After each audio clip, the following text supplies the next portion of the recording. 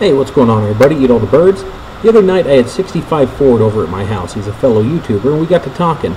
He brought to my attention that I don't have any projects laying around. Now he is a chronic tinkerer and I caught the bug. So I hit the internet for some serious research.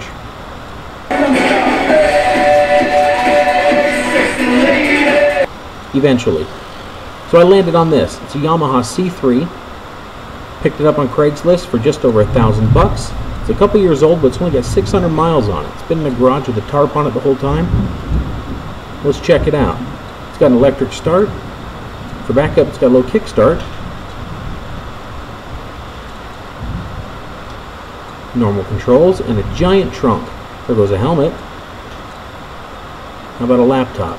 No problem. How about all my camera stuff and a tablet? Piece of cake. About a 12 pack of Coors Light, three bottles of booze, and a bottle of wine with room for ice?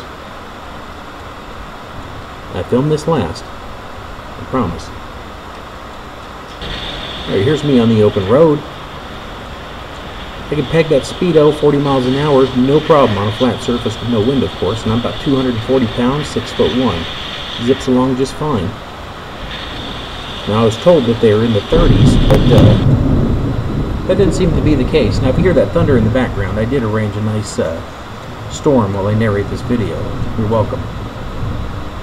Alright, here's me in times two, just showing you some zipping around on a bike trail by my house. Now this thing is completely street legal, insured, the whole shebang. But I do sneak off the uh, beaten path every once in a while to a secondary beaten path. Here's some uphill. Toots along just fine, about 15 miles an hour.